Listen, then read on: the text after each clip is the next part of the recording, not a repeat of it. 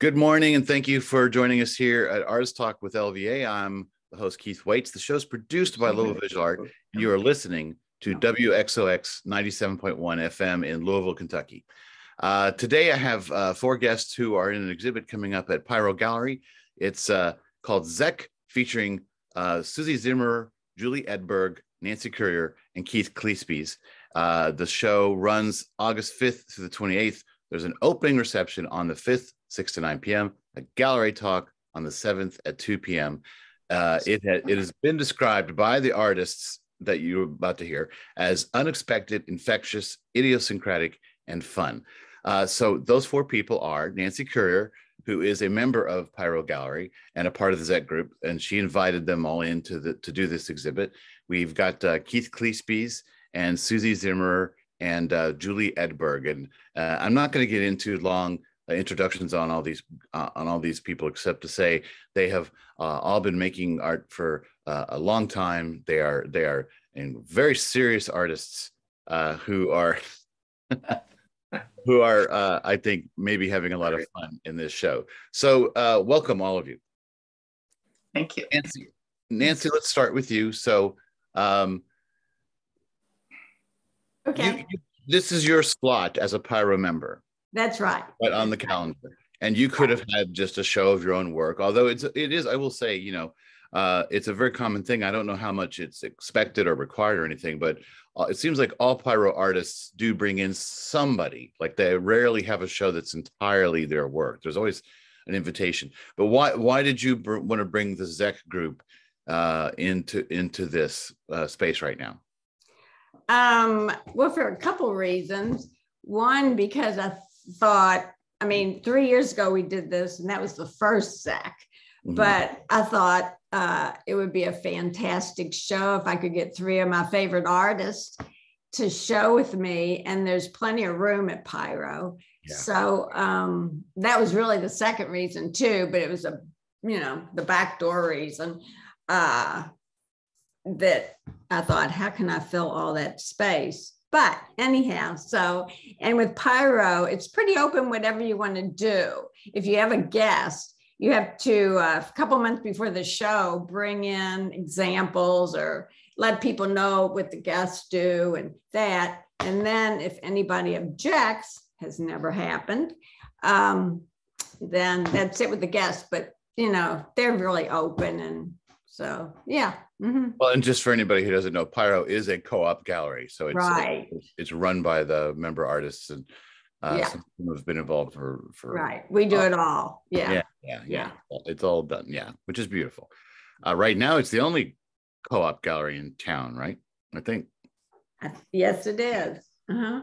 So, and let's also, uh, and, and you can answer this, but if anybody else wants to answer instead, what is ZECK? Where does ZECK come from as an idea or a concept or a connection between the four of you? It's just an acronym of our last names. So, you know, just like you introduced us, Suzi Zimmer, you introduced us perfectly in order for Zach. That's all it is. It okay. sounds good, Zach. um, so, but so then let me take that question a little deeper. Then, what is it that brings the four of you together and bonds the four of you? But I mean, you you've maybe known each other a long time, but what is it that I'll tell you what? Let, us ask. Uh, let's start with Keith Kleespies on this. Uh, what what is it about the four of you, and what bonds you to, together as artists? They, uh, we all like to have fun. We all um, a little zany. Um, it's a, it's exciting to be able to play with the other three. Uh, it's not formal. These people aren't formal, none of them. Um, yeah, it's it's a chance to be exuberant and uh, have some fun and play. So uh, these these my friends here uh, are all that way individually. So it's just a bigger gang of clowns. Well, we take clowns seriously, by the way. Well, before we started recording, we were actually talking about the the the serious underpinnings of silliness and uh, and uh, and being a clown. Being a clown, being a clown is a very serious thing, and you know you can go to college to be a clown. You can get a degree in being a clown, so it should be taken seriously. Suzi, um, uh, is there much collaboration among the four, or is every you know, or is it everybody's doing their own work?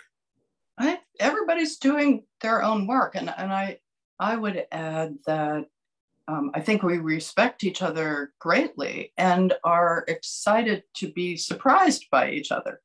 We know that we will be surprised by what each other does, and that will be, um, you know, inspiring as well as fun, as well as mysterious and weird. And we welcome all that.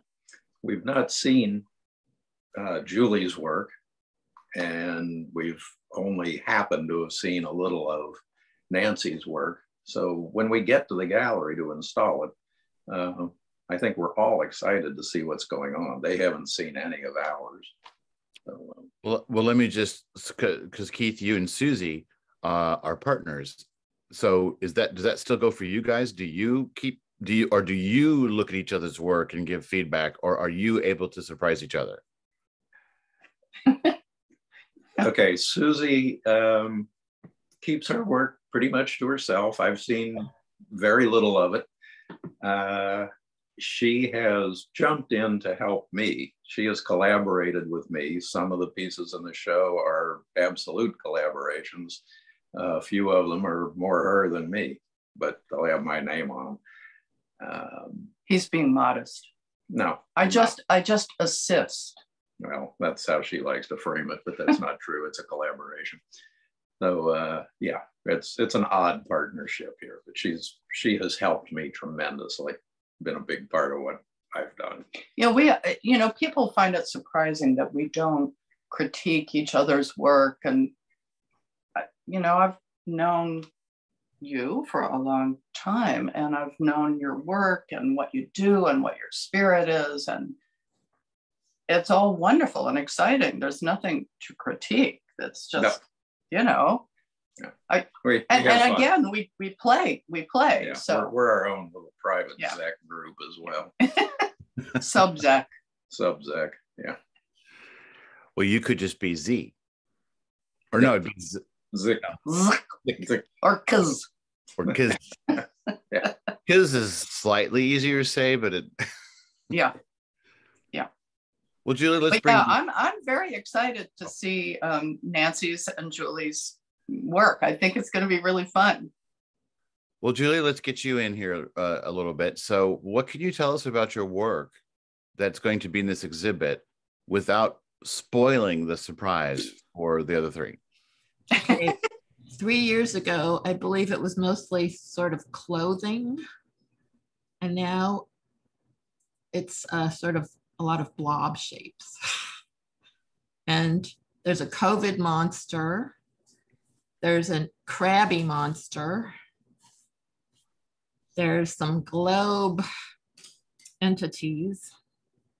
They're all very round. There's a Mr. Thingy. so they have more personalities, and oftentimes they have legs and eyes and I love them. okay. They're, they're, very huggable. Okay, so you, I, I think it's probably fair to say, and and you, any of you can contradict contradict me as we come around, but all of you are multimedia artists. You know, in, in my experience, I've, I've you know I've seen all sorts of different materials get used. Sounds like a lot of your stuff, Juli, right now is what you said soft, like they're huggable. So so you're you're maybe working more with soft materials right now. Okay, they are huggable, but they're cardboard um, little tiles tied together ah. with knots, and they have a an armature of cardboard and a lot of glue. oh, okay. So well, they won't they won't flatten, but they feel really nice. So you could try hugging it, hugging one. But it's not. Uh, my, my assumption that they were somehow maybe you were involving fabric and things like no, that. No, it's paper, yeah. but it's sort of fabric like since they're tied together with string. Right. Right. It does sound almost like you've constructed them like a uh, like a fabric piece, but but not using the fabric. Mm-hmm. Tiles tied together. Yeah. Come see. well, always come see, as I like to say, and I'll repeat it. And I've said it, I've said it, I don't know, probably in more than half the shows.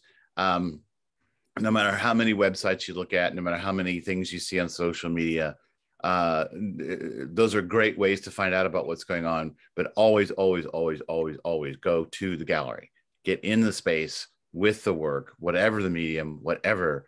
It's it's just that's really how the work should be uh, viewed, and and that should be your relationship as a viewer should always be based on being in the space with the work.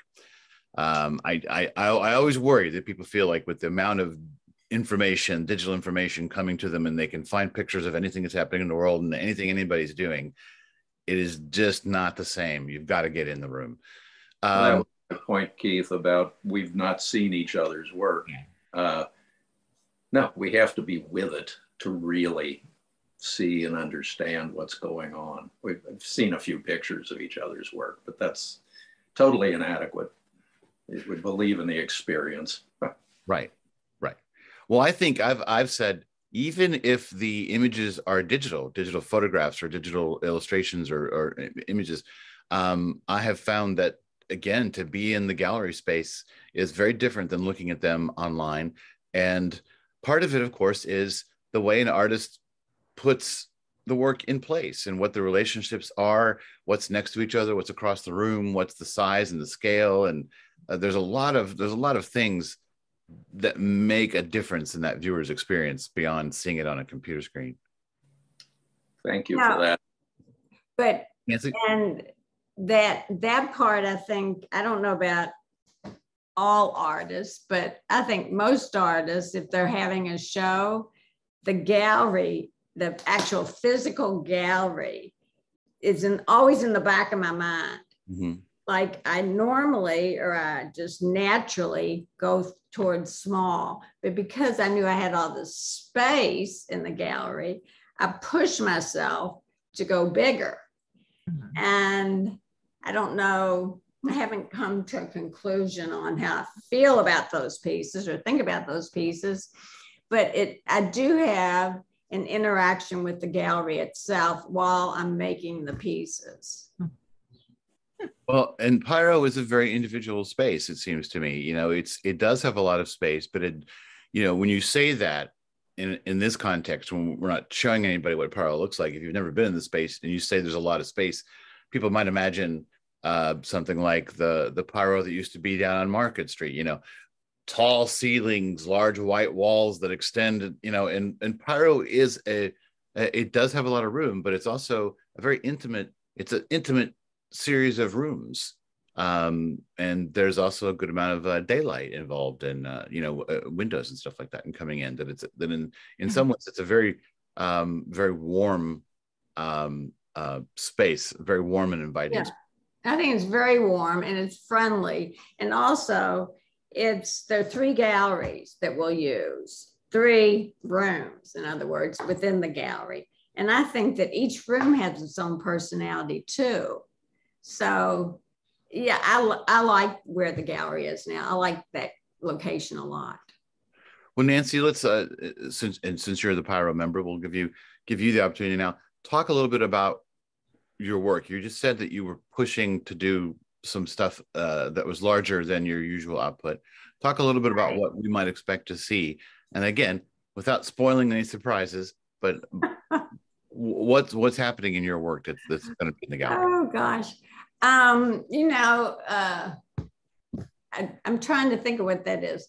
It's um, well, with the past three years, it just so happened to be the past three years of uh, a lot of craziness out in the world. And uh, so I was trying to think what is going on and does it interact with what's going on outside of me within the world and that how that affects me. So uh, I go back to what you said about um, unseriousness and what Keith said about the play is the thing. I can't, I cannot, I do not want to have any of that seriousness go into my work. So um, I use the hodgepodge material. I use a lot of paper mache, even though I want to use, I want to carve wood, but I haven't gotten that skill yet. So I use paper mache. So I have some paper mache figures and they're bigger than usual. Usually they're that big. Now they're about 17, 18 inches tall. You're in the radio. Pardon me? Can't say that big. Oh, oh, okay. Well, she said 17, 18. So yeah, where they are now. so your They first comparison was maybe inches- yeah, six or eight. inches to 70. Yeah, like I'm trying, I tried to triple, triple them. Yeah. And then um, it's hard for me though, so to get bigger. So what I do is uh, for the flat two dimensional pieces, I'll work in uh, like 10 by 10 or four by four uh, tiles that I put together to form the whole image. So I know it's vague, but yeah, come see it. And um, yeah. Um, oh, one thing, I uh, do have a series in there that I think comes closest to how um, the exterior world has affected me. And it's this a series called The Antidepressants, and the antidepressants do things.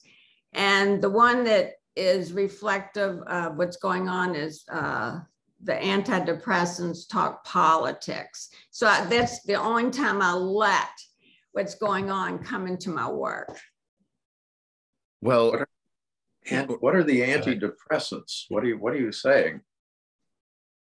They're talking politics. That's what they're No, no. saying. Who's talking politics? The antidepressants.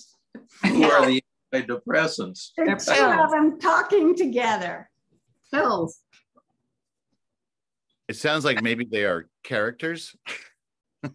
They are who they are. It makes sense when you see them. It makes total sense. They have a whole bunch of friends too. All antidepressants. This is a very zany group. Well, uh, so Keith and uh, Suzi, let's come back to you. Uh, let's let uh, Keith, you first, just because you're on the left and I'm left to right, of course. Uh, talk about the same question. What can you tell us about your work without giving too much away? Eh, That's going to be in this show. It's an installation. It is um, toy based. Um, I have an interest in tin toy robots, lots of images of those things, um, assemblages of robot figures, uh, puppets.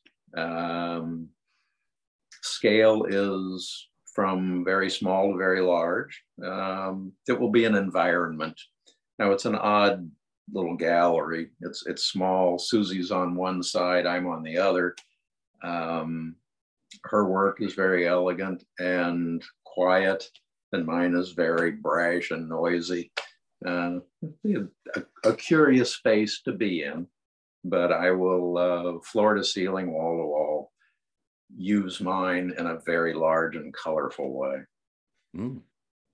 And Suzi, Um, I've got 32 envelopes that are watercolored. Um, I guess w- what I would say is sort of a repeat of my statement that um, I imagined a sender of the letters, Isla Frankwater, who um, decorated or painted the envelopes and sent them to various friends and family. And for some unknown reason, these 32 have been saved. And there they are. Um, and once I had done these envelopes, including inventing stamps um, and inventing cancellations for them, I realized, well, an envelope needs addressees. They need someone to go to. So I invented a world of people that would receive them and researched their addresses and their lives and thought about it and wrote a lot of notes and and then I realized, oh, well, the envelopes want letters. So um, that's how that happened. But really, it's about the imagery, which is a collection of all sorts of little bits and bobs and um, honoring various artists and writers and ideas appear on the envelopes. But there are also letters in the envelopes, real Yeah. letters. There's le- Handwritten handwritten letters. letters in the envelopes that I imagined uh, Isla has written, and they've been saved for some reason. So, So as a the viewers will not be able to read the letters, right? correct. But but we will know that there are letters. It's not just a concept. There are actual letters in each. Yeah, and you know, it's interesting. Uh, Yeah, everyone says, "Oh, we- you know, that's kind of a clever idea." Well, I didn't intend it as a clever idea. I didn't intend to write the letters at all. I m- made these envelopes, which really uh, um, was about compositions that happened to be on the format of an envelope Mhm. and then they became real uh, mailed envelopes with real letters inside. So the letters were kind of an afterthought, but I did work hard on the on the letters. Um, Right. There'll be a sample letter that hangs up for people to read, and if you want to know the contents, well, you know, you got to read. You get you got to get one. You got to get one of the letters or the envelopes, but it's really about the envelopes. Right. Well, but it also it's interesting that it's an epistolary uh, art installation, which is a not maybe not unprecedented, certainly a rare sort of occurrence. No, no, it's it's a it's a, a thing that people have done. Yeah, but it's sort of you know the the one image, and it's one image only that I saw uh, uh, uh, from from this. You know, it- really made me think about when whenever you do when you know whenever you're reading a history or biography of somebody from an earlier time, uh, maybe early in the early 20th century and things like that, where letters were so important, so crucial. Those letters are often quite beautiful, the, the envelopes, you know, and and often deceptively simple when you and i think that we live in a time where most of our you know people don't do that like they used to do Right, that. Right. most of our physical mail is commercially produced and you know uh, and junk mail and so so i find it very interesting what you're doing and and and so i can't wait to see that Well, good. Thank you. I hope it's fun. You know, I, I have to say that uh, um, I would love, I would, I would love it most if people enjoyed looking at them and thought, "Oh gosh, I would love to do that too. Make up a person and write stories and mm. letters." Mm. So that would be the biggest reward if somebody or everybody decided they wanted to play that game themselves. Mm-hmm. Keith, Keith, I want to add one of the things I have been aware of during Suzi's process is the intensity of her research. The addresses are actual places in appropriate neighborhoods to the recipients of the letters. All the all the details are there as a novelist would create them, um, trying to be very realistic.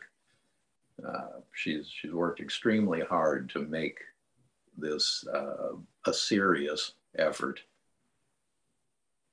well and it's interesting too because it's so, so far in these in these descriptions of that you've each given of your work suzi's is perhaps the most detailed and i think on its surface doesn't sound necessarily like the kind of fun that we're, we're seeing yeah I, I think I know. first Yeah, glance, I know. You know, you know, Keith. I, You know. I have to say, I've said for some time. You know, uh, to Keith, you and and Nancy and Juli have got all these great, wonderful, zany things, and and here I am with these kind of serious letters. But but I think um, if you were to read the letters, which of course almost nobody will read all of them, you would see that Isla is a very playful person. So the play is hiding. But also, I'm like here jumping on the edge of my seat. I think there's uh, magic about them. And, Oh, and, and you. one, but, but just them, you know, visually seeing them and the story and all, but also the fact that you're not letting anybody except whoever goes and buys your piece of art to read what's inside. There's something magical and secretive, and I found that fun. Well, You know? thanks. Yeah. A whole lot like her. Well, no, and I th- I think that's what I that was the the point I was getting to. What you guys are saying is that you know it broadens the idea of what fun is, um, because you created all of this. Like if you had like if you had gone through and and somehow tried to imagine or recreate, and all these people were just totally real people, that's a different kind of thing that also could be very worthwhile. But this is, I mean, you have created there's a lot of depth to it but i think it's still fun it's still fun and Thank you. I think it should be fun. Yeah. maybe fun. maybe it's not whimsical and like there's other kinds of words we could say that might apply and you might disagree with that that, that might apply to some of the other artists work but I, I i like that idea that it broadens our concept of of what uh, uh of what fun is and sort of um um you know because it could be it can be fun to touch base with a different time period in well, your- and yes, and it, and research for me is a lot of fun. But Yeah. I want to say about my three companions in ZECK Mhm. that while their work, you could say zany, you could say whimsical, but I think each one is very, very serious um, as as a human being in regards to to all the issues that are important to uh, to a nice human being. And and i think it's contained within their work. And i think their presentation of it in a in a way that many people might consider zany or wacky is is just a way in to bigger issues. Right Well, Mm. I think I think there's a lot of great tradition in in American culture of comedians or humorists. When we think about you know some of the great writers that were humorists in our in our uh, history, you know, t- touching on the seriousness of things, or or using satire. You know, there, that that that that's you know a lot of people. Was it just a few years ago? You know, people were saying like they learned more about what was going on in the world by watching Jon Stewart on The Daily Show. You know, I mean, but because I, I- and I and I think part of that comes from the fact that we have such a hard time sometimes dealing with what's going on in the world that that's the only way maybe some people can sort of cope with it is through through a whimsical lens or a satirical lens. Yeah, I agree with that. And also, I think uh, while working on the piece and seriously working on the piece, um, at least for myself, I'm not thinking, oh, I want this to be fun. Or, oh, I want this to be, I am not thinking I want it to be anything except what it's kind of telling me to, it's becoming in front of me. So I don't go at it in a in a focused way of any of the whimsy or all that, which I guess is why all of our work is different because we're all putting our personality in it while we work on it. Yeah. Which goes back to Suzi's point about that you're all fun, quirky kind of people. Would you know? It, it, the, so that so that so the so the fun, the silliness, the humor, the whatever comes from all of you in a natural way, an organic way. Yeah. Seems Yeah. like. And yeah. It, Uh, yeah, I, I, I thought, no, don't go into that one direction. Okay, I'm good. Well, right. That it's hard to just manufacture fun. It it has to come. from- Exactly, exactly. We're not, yeah, yeah. I mean, I wouldn't consider myself a fun person, I guess, but you know, i would oh, well, that's, that's reflection. That's reflection. Anyhow, That's have fun heck of- with you. That's a heck of an admission to put on the radio that you don't consider yourself fun. Well, I know, but yeah, I, well, what, no, let's not go there. But you've been smiling this whole interview so far, so I I think that's uh, evidence of something. I guess the definition of fun, yes. Um, but you know, I'm also thinking about when we talk about um about artists dealing with the world, you know, in in a certain way, I, and it reminds me of the concept of the Dadaists and and that they were responding to a pretty bad time in history too, you know, and the rise of fascism and and all the countries they were in and stuff like that. And you know, doing thing doing things like nonsense poems and and just all this kind like a way of trying to make sense of the world. Now, without trying to, I don't want to, you know, I don't want to get make too much of a burden on you guys about this, but uh you're doing the same thing right now aren't you with your work are you trying to make sense of the the the world Who, Right. yeah, me? well any of you but Anybody? start with you uh, I guess I'm trying to make sense of myself, but I have to, I have to, I have to backpedal because, you know, the serious thing to put on the radio, I'm not fun. The only reason I mean to say that is because I don't like to go to parties. That's all. But like, but everyone else can start talking about how the how you know the dealing with the world. Well, you know, parties can sometimes be very intimidating and scary and Yeah. and, and Oh chaotic. yeah, You oh know, yeah. Uh-huh. You know, A one-on-one party's good. you know, I've done plenty of Irish goodbyes at parties, so you know, I I, I understand.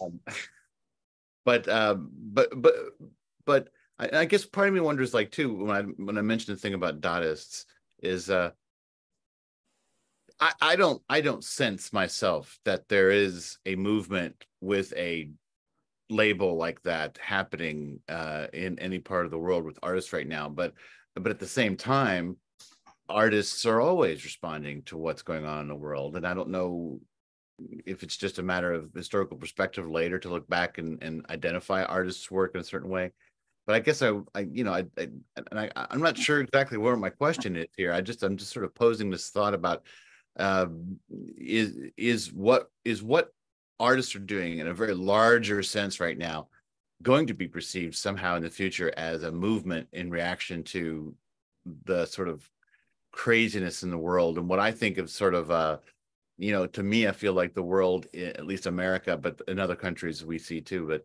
um is trying so hard to go backwards in time you know and sort of reverse what we've defined as progress. And so our what what what do you think? Keith let me ask you. I have a feeling you you might have an answer to um like are artists, are artists doing a good enough job of responding to this? I don't think artists often know what they're doing in spite of those horrible statements that they blathery things that they post everywhere. They're surfing the zeitgeist.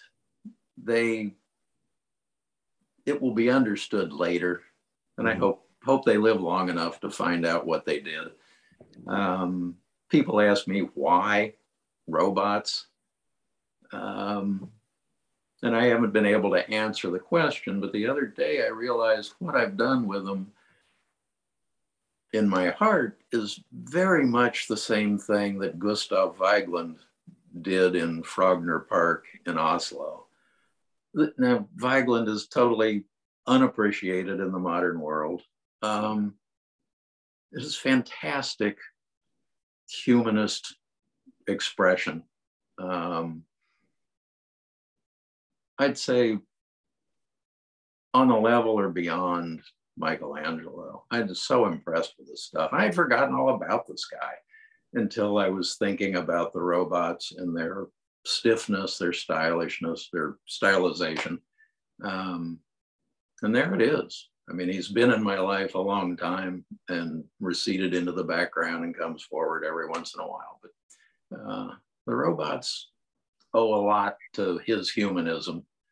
Uh, and I think that's in line with what you're saying, bringing humanity, the good things about humanity forward in a time of conceptual art and a lot of other boring stuff. Well, and I kind of feel like what you're saying is, in a way, it's like you. What I'm asking is maybe an impossible question for a contemporary artist working, because, like you say, surfing the zeitgeist, and we've already talked about how, for all of you, your work is so organic. It, comes from you. You're not trying to create art that's very separate or apart from yourself. Juli, wh- wh- what's what are your thoughts about this? Um, absolutely not. I, it's not a separate from myself. Whatever, what ki- whatever kind of art is separate from an artist. You know? I Well, I just, think I think we can imagine people like let's say doing doing commissions and things like that. I mean, it all comes from whatever skill or talents you have, but it's at the Yeah. same time that's not personal in the way that I think all of your work is personal. Yeah, I I think it's extremely personal with this group, and that's why this group has formed. Um, yeah. why do we even do this? Have to do something. Do, well, I mean, Juli, do you spend a lot of time asking yourself that question, or you, you just do? When I'm, when I finish a piece, I feel terrible because I don't have a goal, a, you know, a purpose. Because it's finished, and then I clean the studio. Oh God, so depressing. like right now, I need to start something. I think I'll drive to Louisville with a bunch of sculptures crammed into a Scion. and that can be an inspiring trip. Well, uh, so let me ask you that. So you're going to come to Louisville and bring your sculptures and be there for the opening and the talk and all those kind of things. So when this show is, and it'll be up for a while, but after all of that experience, will you, will, do you think that will inspire you? Will you go home and immediately feel uh, excited about making work from, from getting together with everybody? Um, I don't know. I I used to visit Nancy every summer and we would make art. And that was very inspiring. But hanging a show, I don't know. I don't know. I'll be glad they're they're out of my house. Oops, bad attitude. um, I don't know. Good question.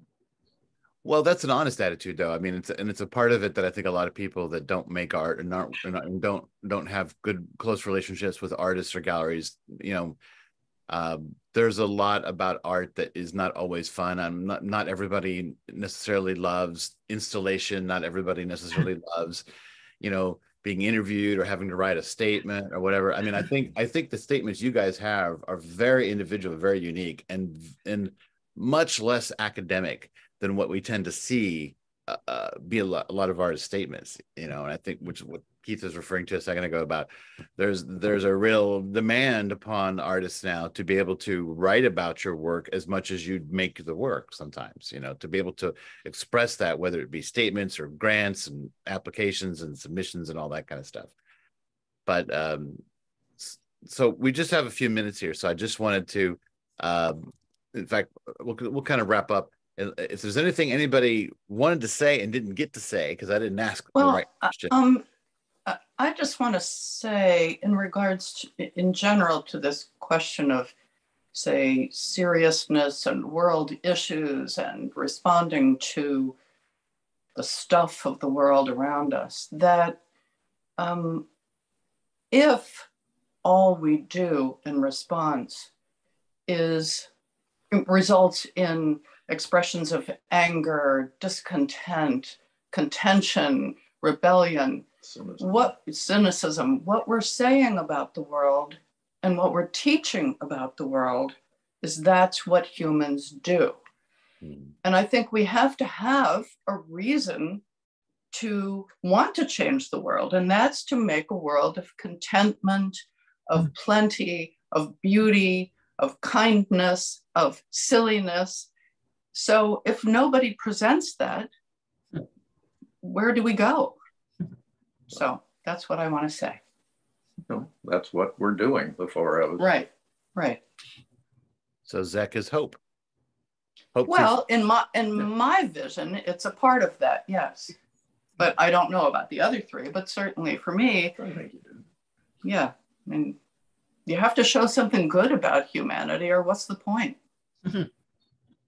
Well, and I think we that's what we count on artists to do. And there's plenty of artists who do lean into the cynicism and and uh, yes uh, negativity. so so maybe that's the great value of of ZECK as a group. Yeah, we're leaning the other direction. We're leaning the other, uh, you're leaning the other direction. Yeah, Keith, uh, long ago asked for a statement. I said, I believe in an art you can dance to. And I'll, I've always hung on to that. I believe that. Like, sure. Okay. I would agree with that. Mm-hmm. Well, um, so I think we'll we'll wrap it up there. Um, uh, Suzi Zimmer, Juli Edberg, Nancy Currier, and Keith Kleespies. It spells ZECK. Thank you all for being here and doing this with me. Uh, the show uh, runs at Pyro from August 5th through the 28th. Again, the opening reception is the 5th from 6 to 9 p.m where you can meet all these wacky people. And the gallery talk, uh, there's a gallery talk that same weekend, Sunday uh, at 2 p.m. So, uh, ZECK at Pyro, thank you so much. Thanks. Thank you. Thank you, sir.